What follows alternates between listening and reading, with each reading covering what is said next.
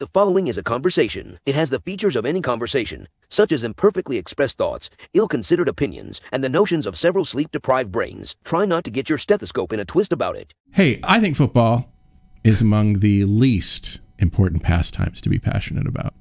But I don't know if I'm in the minority in this room. You got my vote. Do you? What about you? What about you all? Strongly disagree. yeah. I'm with you. But I felt bad for Aaron Rodgers this week Mm-hmm. because that sounds like a sucky injury. So I'm laughing because it took me more than 24 hours to realize they weren't actually talking about A Rod, who Oh, plays yeah. for the Yankees. Yeah.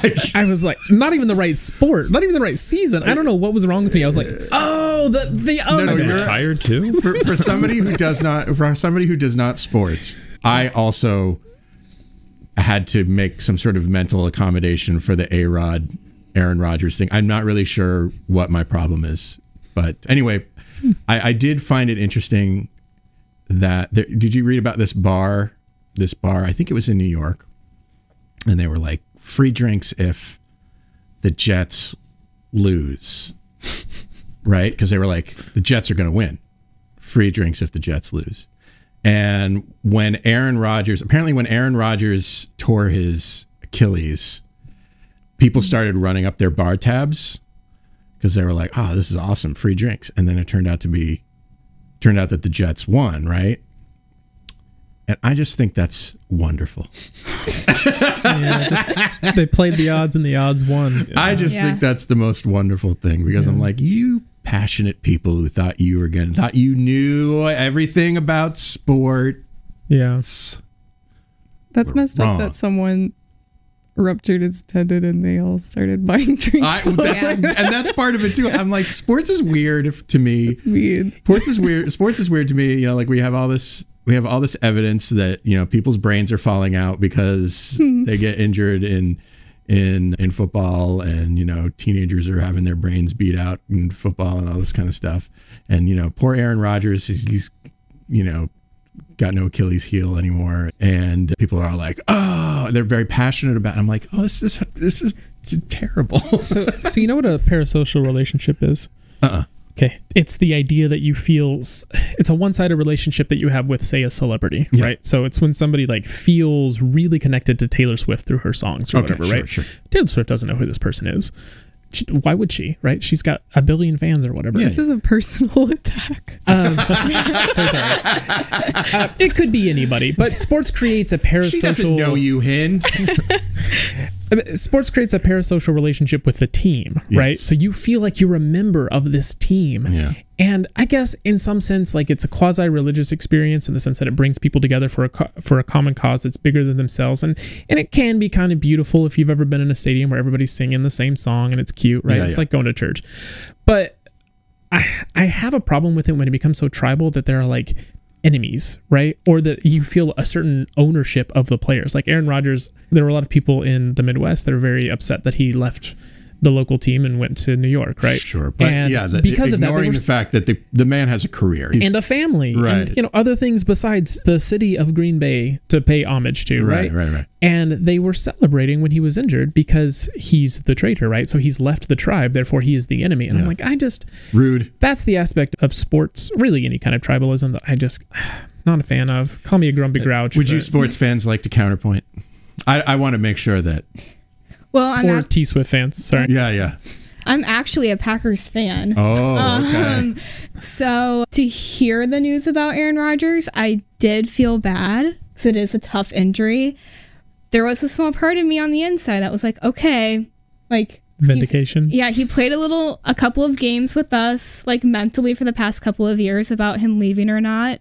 And I'm like, okay, yeah, you left. Like, sorry, but it's okay. Like, I don't have You to feel bad for you. yeah and he like left and took a few of like the packers good players too so okay maybe a little bit of karma Yeah, I mean, but Sch- Sch- Schadenfreude is a it's an It's a emotion. thing, It's yeah. a thing. Yeah. Yeah. I, I mean, I, I'll be honest with you. I don't feel like super bad for him. Like it's a bad injury, but like mm-hmm. also I've been told I have it on good authority that he's like Hall of Fame material. Yeah. He's making fifty million dollars this season. Like I don't feel that bad for him. Like he's okay in life, right? Like Yeah. he'll recover from this emotionally and he'll move on. And and Yep. also his Achilles heel will recover to the point where at least he can walk around. And he's- yeah. Yeah. I mean, he Yeah. may not play anymore, but I think he's had He's a, had enough. a He's had a good- successful he's had a career, great a wonderful career. life. He'll be fine. Yeah.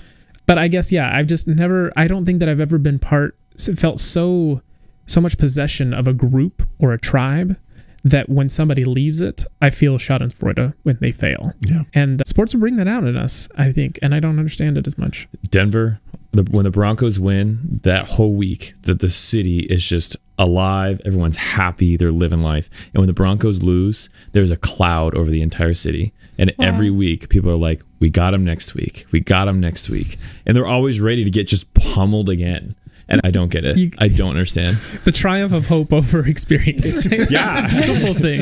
and it's, I always hold on to when we had uh, Elway and Manning in that preseason where Tim Tebow, he was mm-hmm. good. They hold on to that. Every other time, it's like they're not that good, and everyone's Yeah. just they're the best team in the country. The streets of I'm from Denver. The streets of Denver will be orange on Saturdays when they're playing or Sundays, and it's like we're With terrible. what? Yeah, Orange with what? the shirts like the, their colors Oh, are blue okay. and I was orange. thinking Yeah. like they paint the streets every week. Oh, That's no. That's commitment. yeah. no, they people are committed and they are diehard fans, and it's just all right. Enjoy. I get I so to to be fair, so the reason why I have a little bit of a not f- strong feelings about sports or I guess strong feelings against is I've moved a lot as a child and so I never really had a home team. One, two, a couple of the places I lived were the Bay Area, so I dealt with uh-huh. Raiders fans, and then the SEC, really any of them, but specifically I'm not, not going to name the school, but they would like for exhibition games they would roll cars. Like they were just Whoa. way intense, right? And I think Raiders I fans is the same thing. Yeah, like I think for me, it's not sports fandom per se that puzzles me. I think it's the extremes that people take it to It's fanaticism, right? that, yeah. that make me go. I don't. This makes me feel uncomfortable. yeah. I didn't mean to attack the sports fans. No, it's I just. I just found something to talk about for our cold open today. Yeah.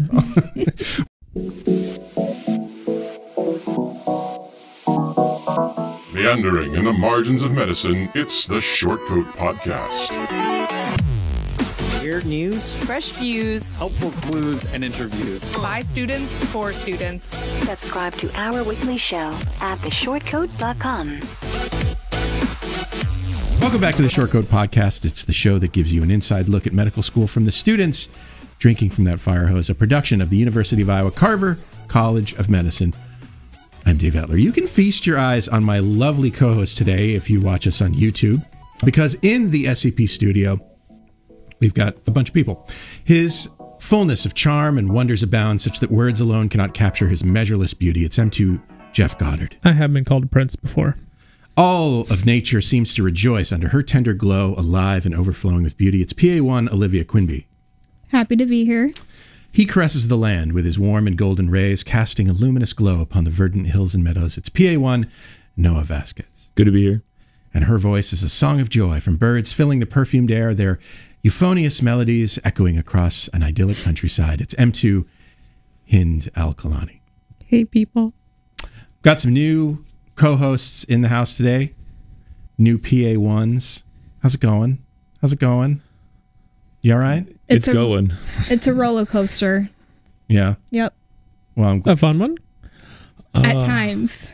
It's a lot of ups and downs, but like Yeah. steep ups Yeah. and downs. Yeah. Any loop the loops? Not yet. Not yet? I've been told there are a few though. Yeah, get ready. I'm guessing Friday will be the, that loop de loop with our anatomy exam. It's a good start. Yeah. Yeah. Yeah. You'll do great. yeah. Rooting for you. And this is exam two of the eight weeks that we have. Yep. Eight weeks straight. Yep. Oh, Freedom lovely. November 3rd. Count down the days. well, welcome. I'm glad you haven't. I'm glad you've at least lasted this long and haven't dropped out because it's. What the hell am I saying? What's wrong with me? What is, uh, is wrong with me? Welcome to the show, you guys. Thank you. Thank you. Not sure why you'd come back at this point, but you can at some. Uh, Jeff, I heard you spent some time at the State House. Oh well, I spent some time somewhere. Uh, I Not went to at the State House? I not at the State House. There's a building. Oh gosh, I can't remember the name of it. But the hall was the Norman Borlaug Hall. Oh. inside the building, which I really appreciated. I think the building is run by some World Food Forum, something along the lines of that. So, for those of you who don't know or are not from Iowa, Norman Borlaug won a Nobel Peace Prize in the year 1970 because he devised, he's a biotechnologist, he devised a form of wheat that grows shorter so that you can grow more wheat per stalk without it falling over and damaging or dying, right? King. Yeah, billions Sorry, of people. there is literally not a person who has ever lived who has done more for like his direct actions have caused more people to be alive than any other person that's ever lived. Okay. Right?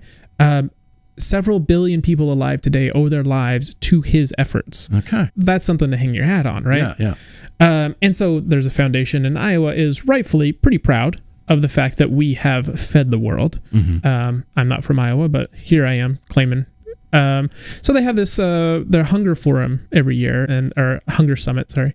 And I was invited to give a 45 minute presentation on the work that I was doing in South Africa um, this last summer, and uh, it was wow those people really care. And that that was just so powerful to see so many people like trying to actually figure out how do we address this issue. Great. we in the world provide we produce about one and a half times the food we need to feed every human being on the planet. So we are a post-scarcity society that has not yet realized that we are a post-scarcity society. The only reason that there are people hungry in the world is because we haven't gotten food to them. We can't get it to them.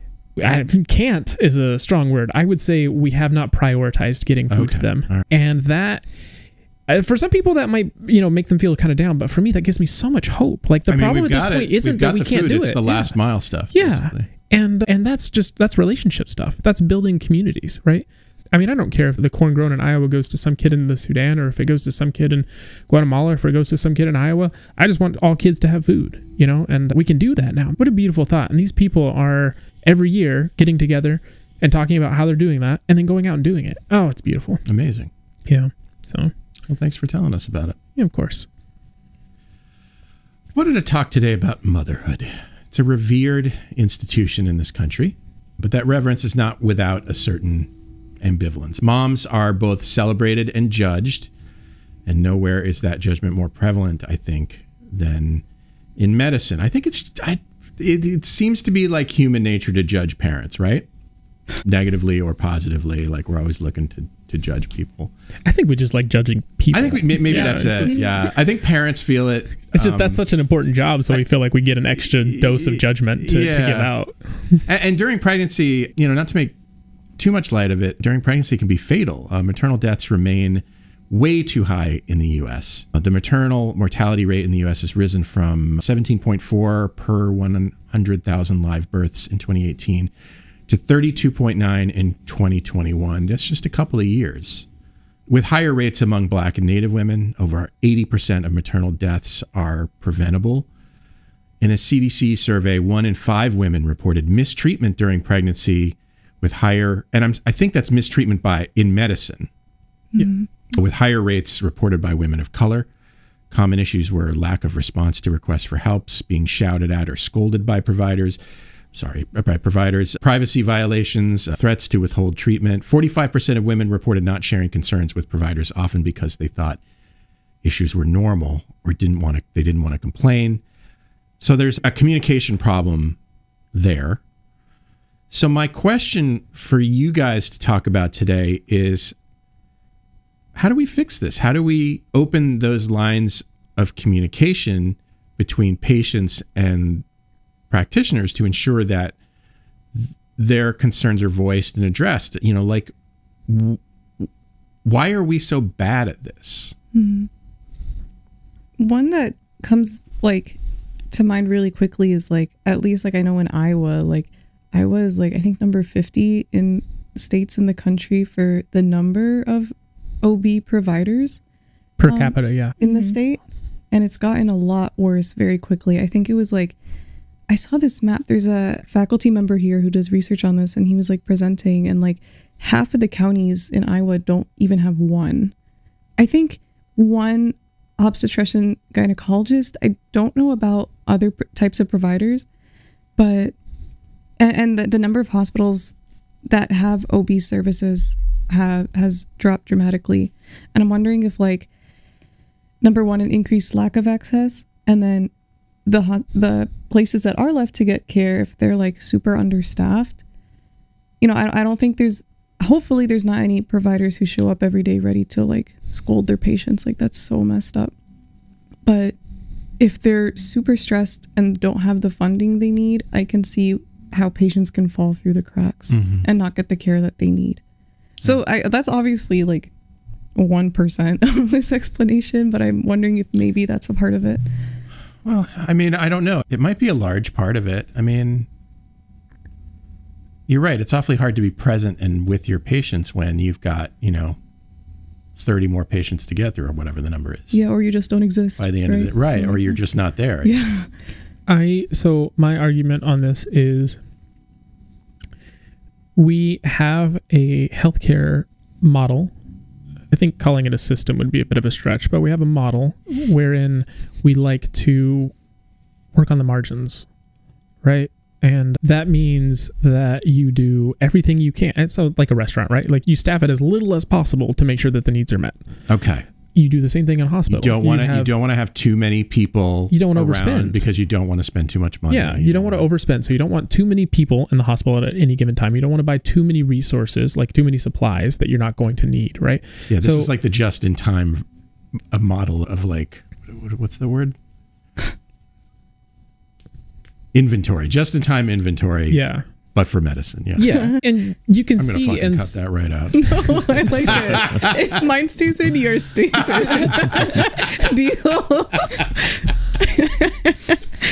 in some things All right. you want that just-in-time inventory, right? So think perishable foods. That's a phenomenal model where where our supply chain really works well with the fact that we don't over or undersell ourselves, right?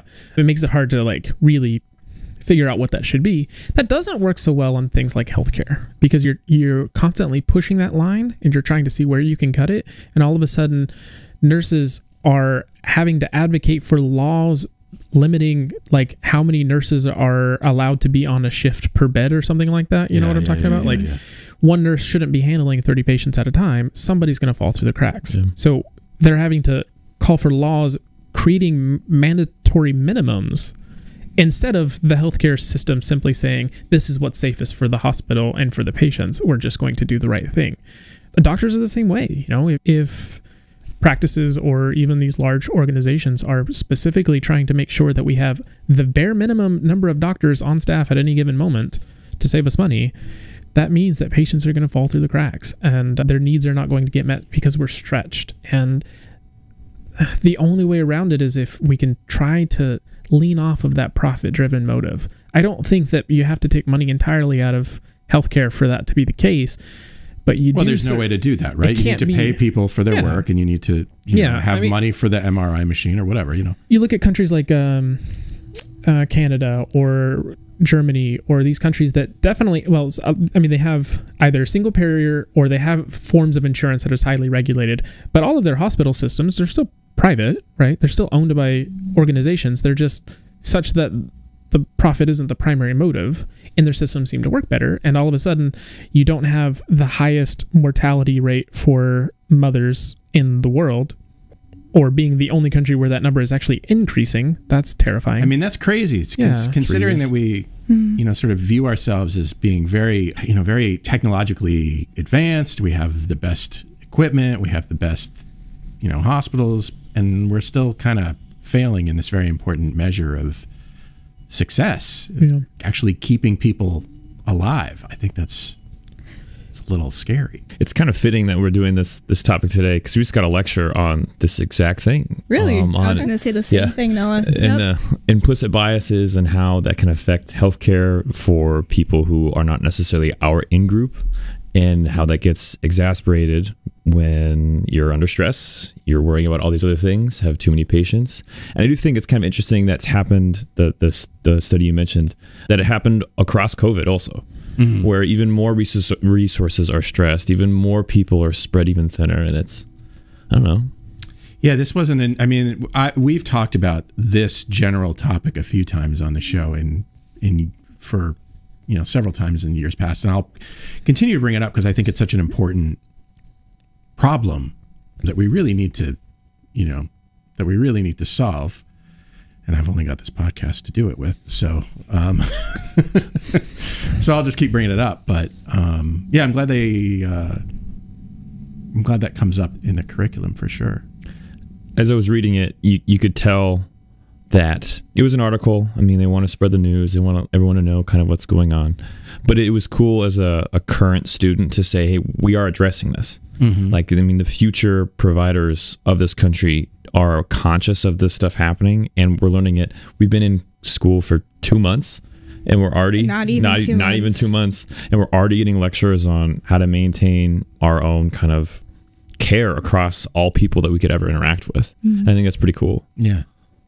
And I think from a patient perspective, motherhood can be very vulnerable and it can be hard at times to share your concerns with who is taking care of you. And so I feel like we as students can probably take that implicit bias test that we discussed in our Yeah. class Oh, yeah. today and really make sure that we're aware of how we can improve and make sure that patients can feel comfortable enough to bring up their concerns or what's not right so we can reduce those outcomes.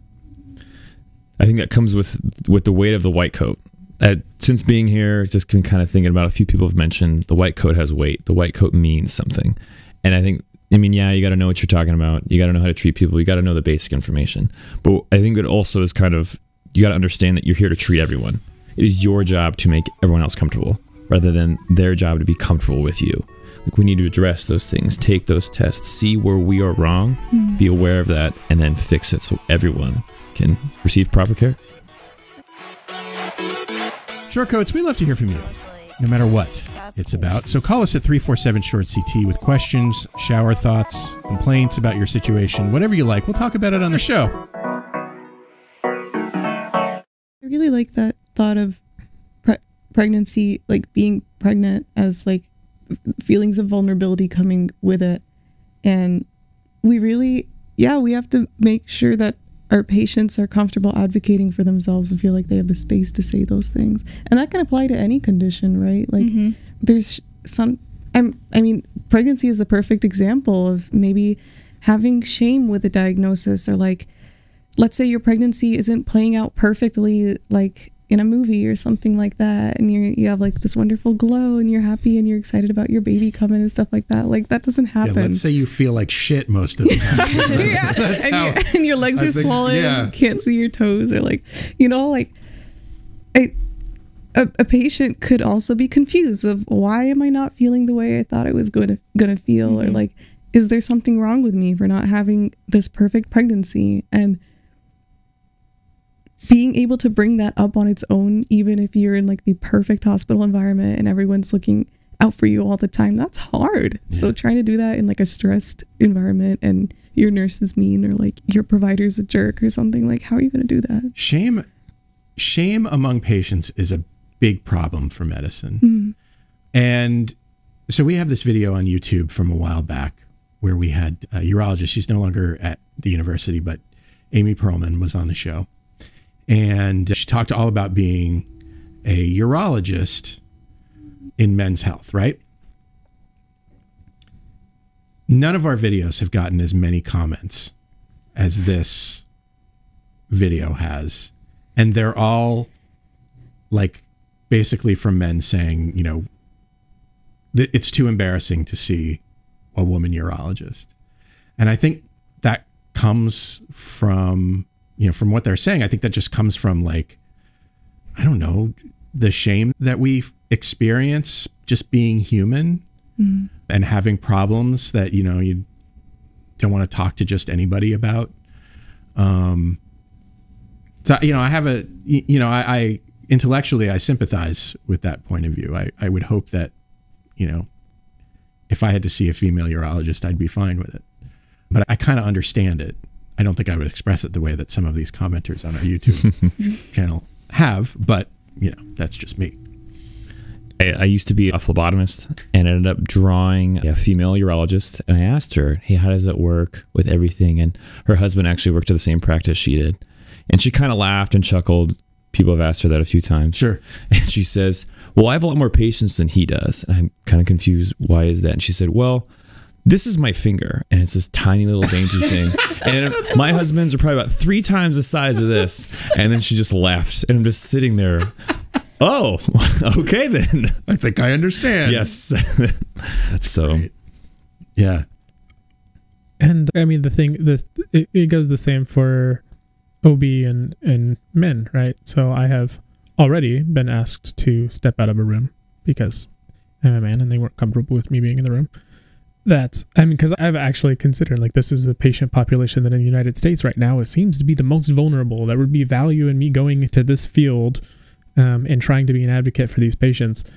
But that doesn't really work if the patients don't want to see me. You know, Yeah. I want to be able to make sure that they're getting the care that they deserve, even if that means that they don't want to see me. But I don't know, it's hard.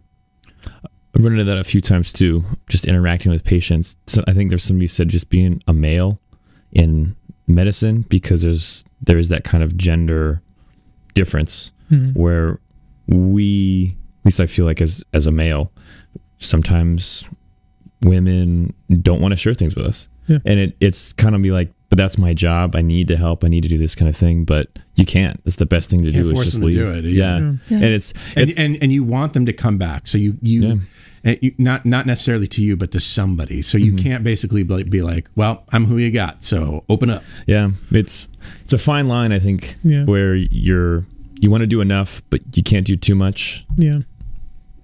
Unfortunately, I think it's based back to how our society is structured and the culture that we have been a part of for so many years. And I don't think that's going to change until our community can rethink about who can take care of me and what I'm comfortable sharing with certain individuals. Yeah.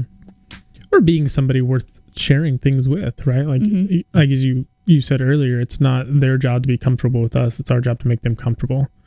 Yeah. I, th- there was one thing in this article that I questioned, or I didn't understand, and that was Just the one. ju- I mean, there's always many, but this is the one that I remember. the if you didn't have insurance, if you're a woman who did not have, if you're a mom who didn't have insurance, you got worse care, or you were more likely to be mistreated. I think was what I read. No, that I that saw that checks. too. Uh, but my question checks. is like when you're in when you're a, f- a PA, a physician, a nurse, whatever, do you know that information when you walk into the room?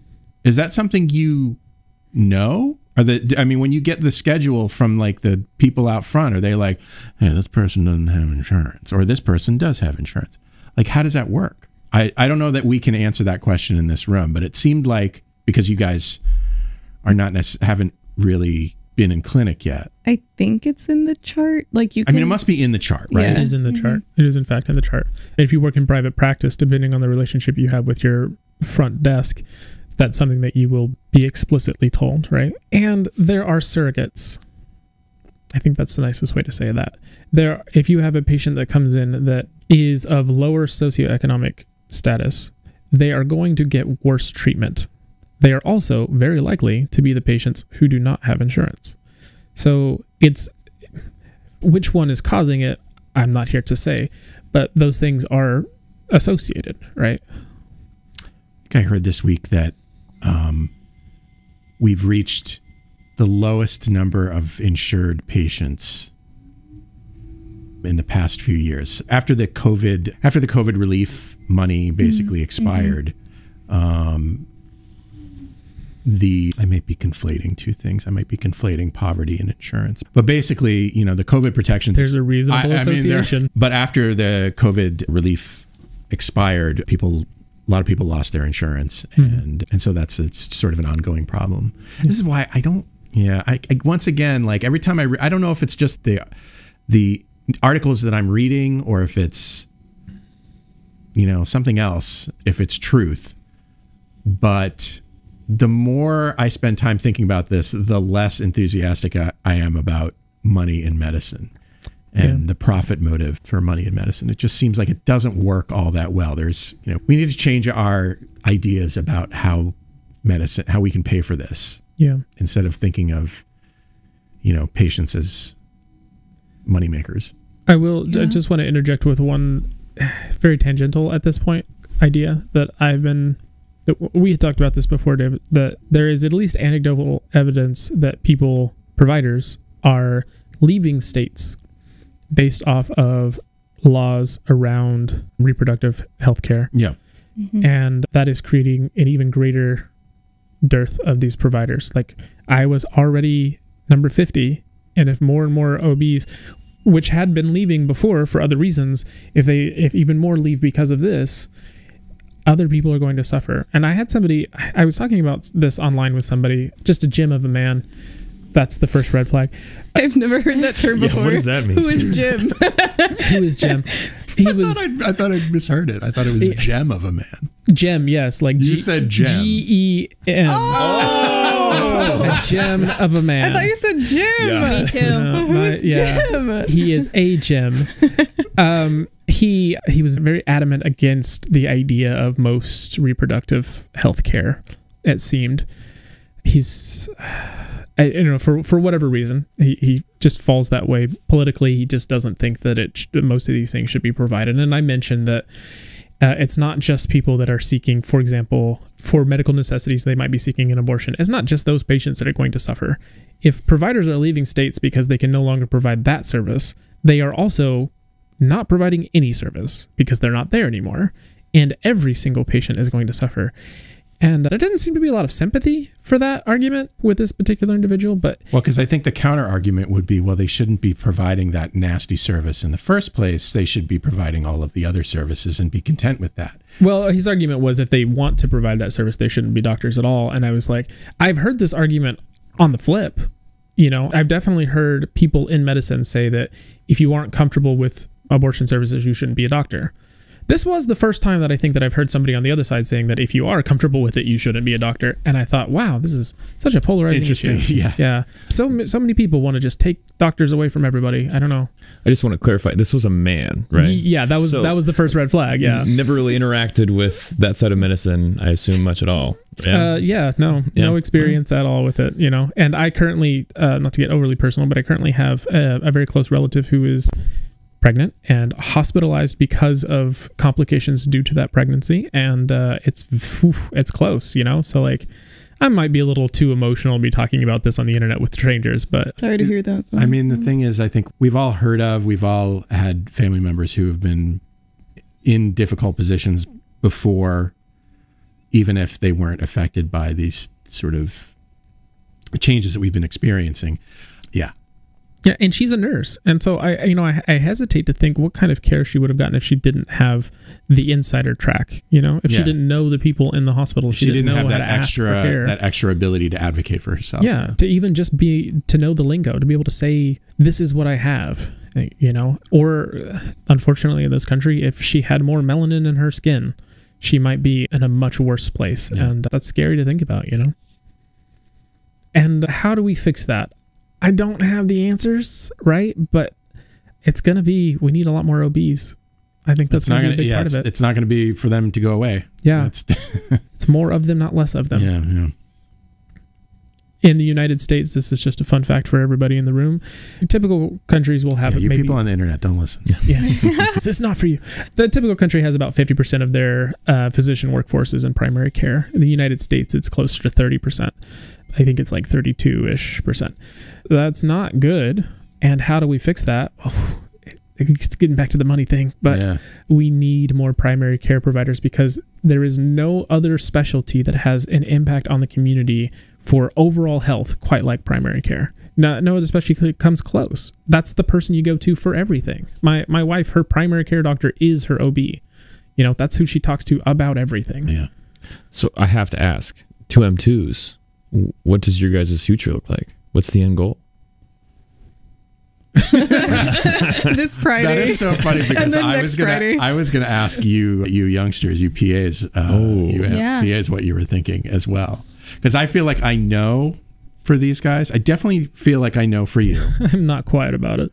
I'm not as sure for you I don't. So I'm thinking ophthalmology, which is very specialized. Sorry, but, but I hey look eyeballs are important guys, too yeah. they are. yeah I think yeah, I, More than any other thing, that's how we get around. So we, we need that to figure things out. You're right. yeah. And granted, I haven't been on one rotation yet, so that might change. But I really love it. I think I, I like ophthalmology because you can. This is a complete 180 from what we're talking about. This is fine. I think we covered the topic. We We'll talk about eyeballs for a bit. We can talk about eyeballs. Yeah. I, I love it because it's surgical and you see your patients in clinic as well. And the surgery is really, I got to shadow a couple and I was just blown away. Like, it's very, you have to have really good hand coordination. And all the surgeries are done on like microscopes. Like, you're looking at using a microscope because it's like really, not like a, like, like a light microscope, but like, Like a surgical it's like zoomed in. Yeah, yeah. if the, yeah. And it's very coordinated and the team has to work together and be fast. And the patients are like awake. I was watching cornea, what cataract surgeries, and I know, that's they're just chilling. Yeah, and and you're like phaco emulsifying their lens and vacuuming it out and putting a new one. And I just What do you mean you're emulsifying their it's lens? it's a, th- okay. So you, I, in, you in basically my Walk mind, us through it. at- Walk us through it. in my One mind, the they went in there with the tweezers and was like, boink, and took it out. no, you have In to, like, case anybody isn't watching this on YouTube, one of the PAs is is actively tearing up talking about this. I can't. I don't like eye stuff. No, that's out. Maybe we- oh yeah, um, that that that's what I'm interested in. I want to tell me about emulsifying. Yeah, what does that mean? So okay, so it's just like a fancy word for like so basically they don't want to like cut open the whole eyeball to get the lens out, Yeah. right? Because like the lens is like a solid, like it's a thing, and it's also 3D, right? So it's not just like a yeah, it's like 3D, so you can't really just yeah. pull it out. Can't like roll it up and like take it out. exactly. Okay. roll it up. I like that. That'd be cool. But so you take like a little like sonic vacuum, you make like a very tiny incision, Mm-hmm. and then you take a sonic vacuum, stick it in there, and then I'm sorry. You're fine. Keep and, going. like, and send like ultrasound waves or some kind of wave, I forget. And it breaks up the lens. Okay. And then the same thing that you inserted can switch to a vacuum and it will vacuum up all that like broken up lens Okay. Out. So you kind of blown my mind here because Yeah, I really did think wild. it was like a, you know like a like they like opened your eyeball like a window and like took out the little with a tweezer a little lens, maybe pulled it out through the pupil. Close it back, Close give it it, a good pat. Yeah. Well, you know, put something back in there. Do you want to know why they can use sonic waves to do this? Sure. Okay. Versus you would not be able to do this if it were just sitting in the air Okay. Because liquids are a non-compressible fluid. Oh, sure. Okay. I talk about this quite a bit mm. as often as I can because it is so exciting. Because it cannot be compressed, the energy is conserved completely, which means those sonic waves they hit with full force. Whereas in the air, sonic waves disperse, right? They don't disperse in water quite the same. I don't know why I'm. Interesting. I don't know why I'm so shocked by this new knowledge. I mean, I knew that you know they use ultrasound to break up kidney stones. I mean, it's the same. It's the same reason. It's Yeah. the same thing. Because you're you I it- just never thought of it this way. it will not harm you if you only get it in the right spot. It doesn't harm you. You know, because your jelly bits just kind of shake. But Yeah. your, your hard bits less less shaky. They just Yeah. fall apart. See, I should be a doctor. I can explain this shit. I mean, I think it's I'm, You'd kill it. That would be awesome. it's cool. Let me tell you about your jelly bits. It's cool that you like got excited. Like that's cool. Some people are like, oh my god, like after I see my fifth like cataract surgery, I'm like bored. But it's really cool. And by the way, there is rolling involved because the He new. was actually thinking of this when he said it. I was like, Really? wow, look, he's got it. Go ahead. have you seen one before? Mhm, Yeah. So like the new lens is rolled up, kind of like um. It's rolled up. I don't know. Like a squirrel. Kinda like a thing that's rolled up. Yeah. It's like a um, croissant. Okay. because yeah because that way like instead of having to put this flat sheet of paper i guess in through that tiny incision you can roll it up put that in the incision and then it's designed to unfold itself in the right orientation Yeah. it's really it's That's like wild. it, Yeah, it it's origami wild. for your so. Yeah. they- you can watch them just put it in and then it like unfolds in the right way it spins a little bit to adjust in the right spot now this Okay, person that just can sounds like magic. That's cool. it's really ophthalmology is it's really yeah okay and and it's amazing because like you have this patient who couldn't see out of their cataract and then 10 minutes after the surgery he's like talking to the doctor he's like i can see now like thank you and i'm like damn And how long That's is the procedure? gratifying. It's like 20 30 minutes I can't wait to have cataracts. This is oh exciting. no no dave Long, wrong lesson, but oh, okay. He's confused, but he's got the but spirit. that was All a very long way to say that's what i'm hoping to go into Oh, that's exciting. That's cool. you you. seem very passionate. That's good. thank you it's, yeah, it's it cool actually, stuff. yeah, it's very endearing to see somebody so excited about a field. So What about you guys? You guys, I mean, do you have any inclinations at this point whether you're going to do primary care, PA work, or you're going to specialize in some way? Noah's looking at me because he's heard my speech multiple times. What's And your I'm speech? I chose to go the PA route because of the emphasis in primary care. And I know coming from a rural community, I never always had great access to healthcare, and I want to help close those gaps.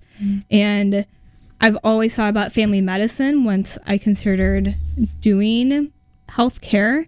Unfortunately, with the new changes within Iowa, I don't know if I stay in Iowa, I want to do OB. And it's scary to think about it. And I'm a little ashamed of myself for saying that I don't know if I'm comfortable with it. However, I know like moral injury is a thing and I need to make sure I prioritize my own needs. So I don't rush a patient or judge them in the future because of how stressed I am. But long story short, I want to do primary care, family medicine specifically. Um, and yeah, Great. That's awesome. Noah, what do you think? Oh, mine, mine's kind of all over the board.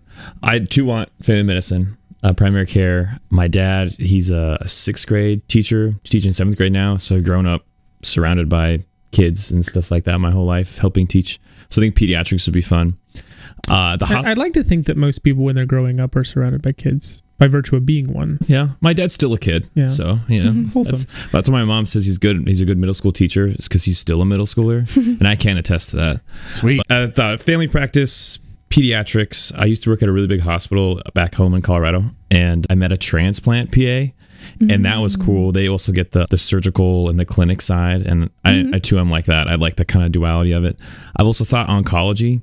I like the relationship with patients, and I feel like that gets to a level not seen in other kind of fields. And I think mm-hmm. a lot of highs, a lot of lows, but I think it'd be kind of an interesting field to be a part of.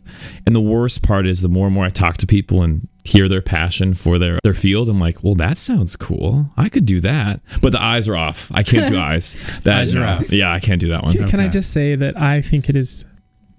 I I remember I was a freshman in college and I was sitting in a in a lab, and everybody was talking about you know what they wanted to do with their lives, and this one guy said, "I don't even know what I want to major in because like it's just I'm not really interested in anything," and I have never felt so disconnected from another human being. Yeah. You know, like I think it's beautiful when you're like it's all interesting. Oh, that's yeah. a that's a wonderful mindset. and that's for amongst a lot of other reasons. But that's something I like about being a PA is Yeah, that you can I, bounce. I can move between things. Yeah. Uh, Yeah, and you guys don't have the same constraints Nope. as MDs do, where, you know, if you wanted to change your specialty, you'd have to go back through the match, you'd have to go back through residency and all that kind of stuff. I don't think that's the same for PAs. Nope. I was thinking about doing That's the awesome. what's his name the Abagnale special.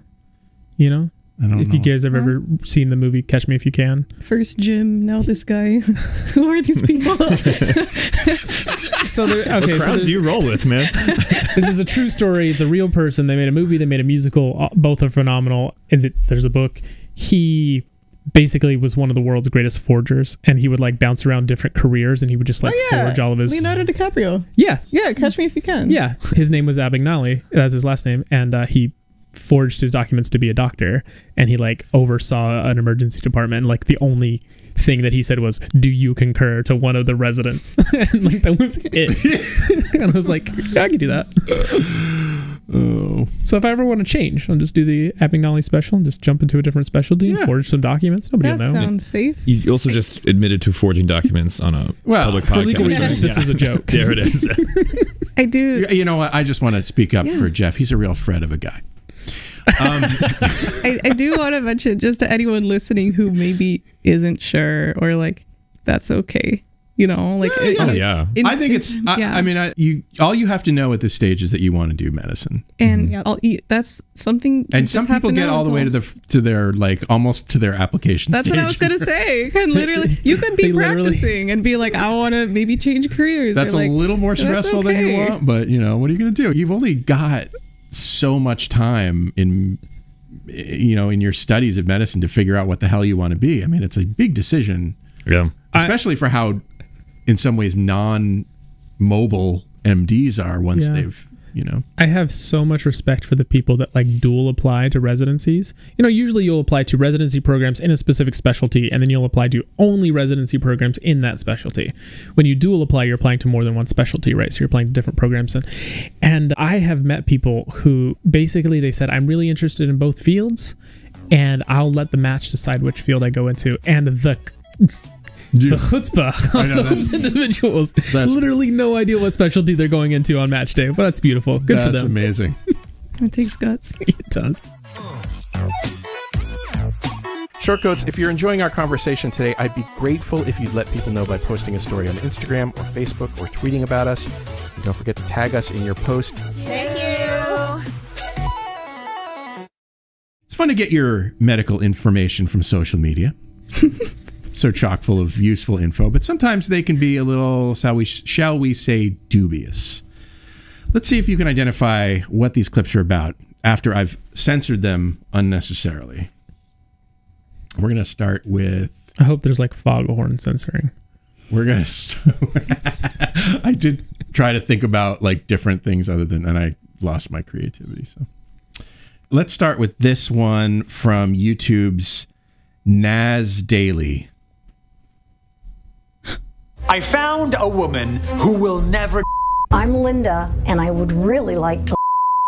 Linda is so afraid of that she this. hired a real scientist with real PhDs to find a way to herself. The minute she they want to her body and let it sit there for centuries until science her and make her again. It sounds crazy, but it's not just her. Even famous people also asked Linda to for $200,000 per. Nobody knows if Linda will. But according to her, if we can our hearts to other people in 2021, then maybe we can people and them in 2201. Okay, I think we know what the what I was bleeping out. All I, hope know so. is Linda. I should have made this like a buzz in when you get the answer thing, and then that way you would see who got it first.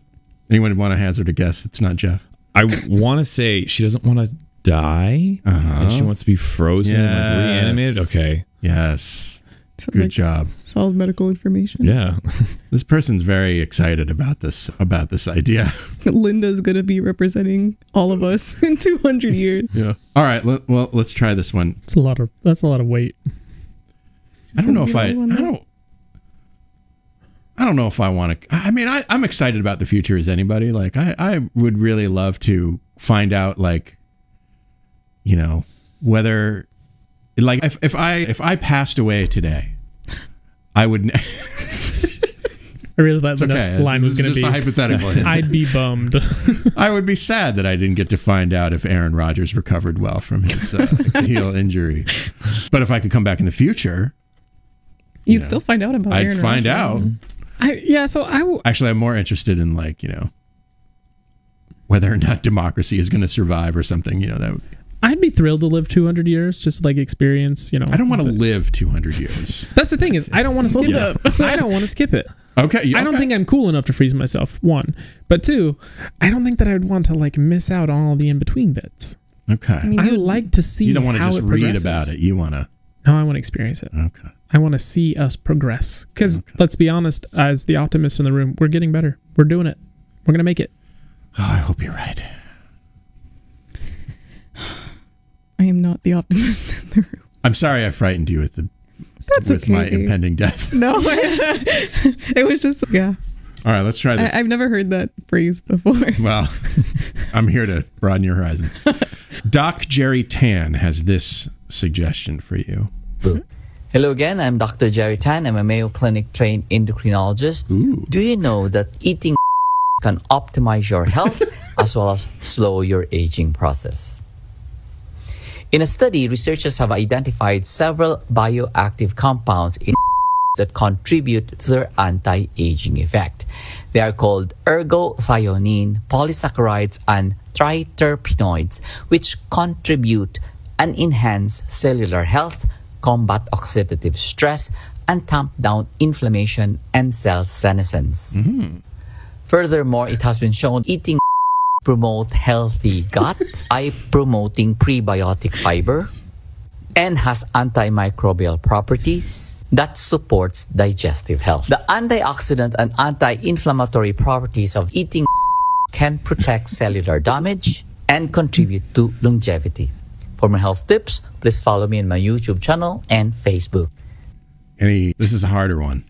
It's something citrus because he said Oh. terpenoids, and that's Oh. oh. But like aloe vera. Okay. Eating aloe vera, eating citrus. I'm going to go ahead and suggest that you don't eat aloe vera. Is it grapefruit? Why I'm not a not? doctor. Is aloe vera bad for you to eat? I, I don't know. It's I- crunchy. I yeah, having seen it in It's- its, it looks a natural little state, gross. I would suggest that it's not a plant that should be put in the mouth. It looks like something. Works great that's- on the skin. Yeah, it looks like something that fell out of a unguent's nose. But unguent is that the right? A term? what? Unguent? What's the general term for like Hooved animals. for a hooved animal? Ungulate. Yeah. Ungulate. Um, I think unguent. The fact is that like two a- people in this room knew that that, that makes me happy How do you spell Yeah. that? I know it starts with a U. U N G U L A N T. I think that sounds Ungulate. from un, unguent is like a, a, a Could be wrong on salve or a spelling. cream. I think it's not. it's very different. I learned a word today. I don't. How do we? Where do Is we, it grapefruit? Pomegranate. No. I don't know. I want it to be a fruit. I want it to be a fibrous fruit, so oh. something that you eat the skin of. Yeah. But It's mushrooms. oh, okay. Oh, That's the new. yeah. Anybody here hate mushrooms? I love mushrooms. Yeah, I love, love mushrooms. mushrooms. My father wasn't actually sure You that I was you- his son no? because I liked mushrooms so oh, much. No, it's it started out as principle just to be irritating to my mom who loves mushrooms. And my brother, he coined the term if it grows between your toes, you know where it goes, the garbage. Uh, but admittedly, and it's now on a podcast, so she can't hold against me. My girlfriend has gotten me to eat mushrooms, and they're not bad. I wouldn't say they're my favorite thing in the world. This but is um, a very hurtful thing to have your mother know. Like your girlfriend made you feel good about mushrooms, but I spent all those years trying to cram mushrooms into you. Oh, it's me, my dad, and my brother. So she was outnumbered for the beginning. Oh. Yeah, no. Hmm. But she got as many as she wanted if there were any on our plates. So it balances out. Okay. Yeah. To to argue with Dr. Tan just a little bit. Have any How of you dare you, sir? Have any of you heard He- this of- man is a Mayo trained endocrinologist. He may What know are you, things. sir? He may know things. That's fair. Have any of you heard of Hank's Razor? No, It's a new thing. We're trying to get it started. We're going to get it started. It's going to happen. this has to do with Hank Green. Doesn't It does. Okay. It does. He's the one that came up with it. And he's I- like, when I die, I want people to oh. remember this razor. This is my thing. This I want people to remember me for this. Okay. Okay. Hmm. And Hank's razor is this. If something is associated with better health outcomes and also associated with higher socioeconomic status, one should just assume that it's this higher socioeconomic status that's contributing to the health outcomes. okay. Okay. Yeah. If somebody says, for example, did you know that playing golf contributes to longevity? I bet it's being wealthy. I bet it's not the golf itself. Okay. I like that. I like that. Let's try this one. one of the most underrated things that you can do for your that slows the decay of the is doing something that fills you with and that can be as simple as in nature or just which just is a deeply profound experience You're not going to get this one because I bleeped out No too many words. Yeah. It could be as simple as walking around in nature, something that brings you joy. that is exactly correct, Jeff. Something that brings you, in, in his words, awe. Oh yeah, I, I actually have seen some studies on this. The can- if you trigger awe in a person, it man, you know, I guess sorry, you go ahead. It, but it's No, supposed you're to. doing, but I haven't seen any studies. I just looked at this guy's YouTube video. I got Uh, nothing. It's I do- it, it may very well it may very well be something along the lines of uh, Hank's razor over here, but I, I do remember seeing a study that if you're able to tr- trigger awe in an individual, that they are going to have um, significantly better um, pro-social behavior as well as uh, mental health, which obviously both of those will contribute to longevity and, and overall health outcomes. I have questions.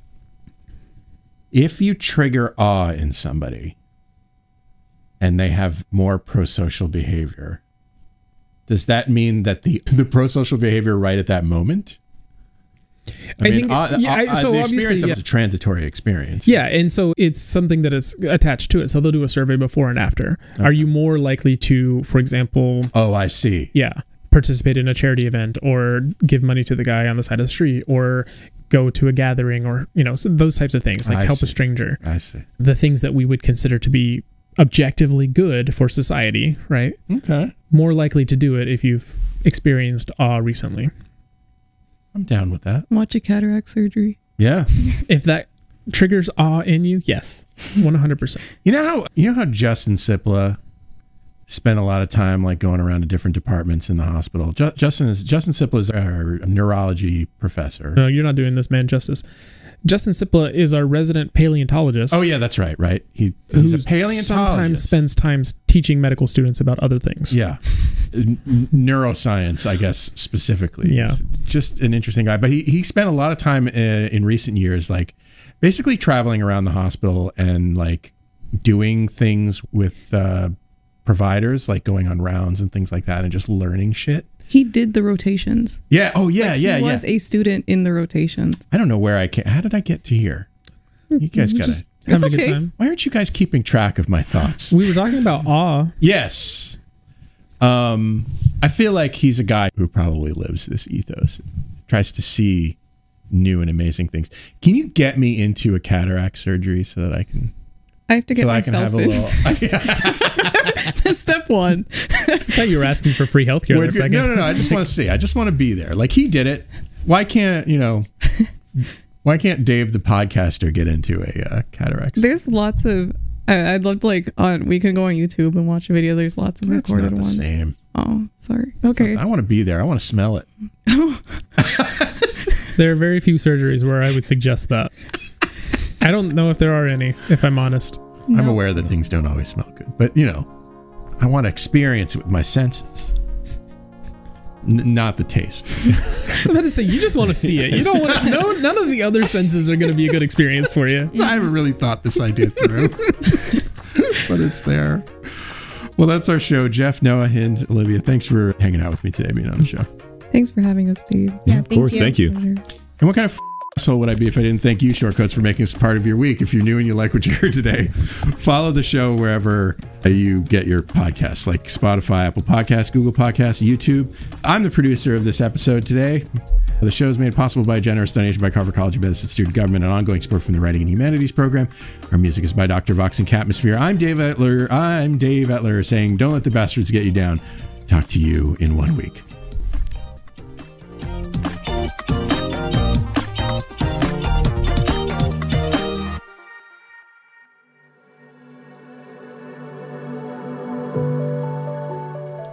Hi, Shortcoats.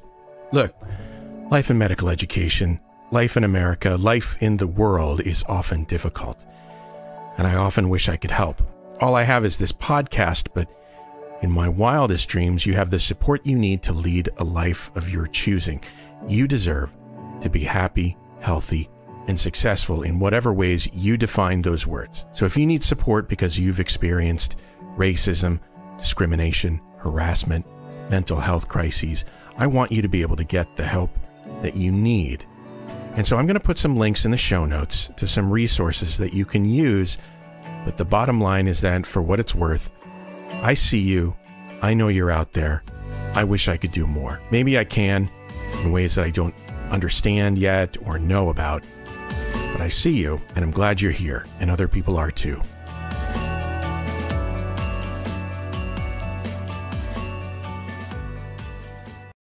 The Short Coat Podcast is a proud member of the MedEd Media Network. Inspiration, information,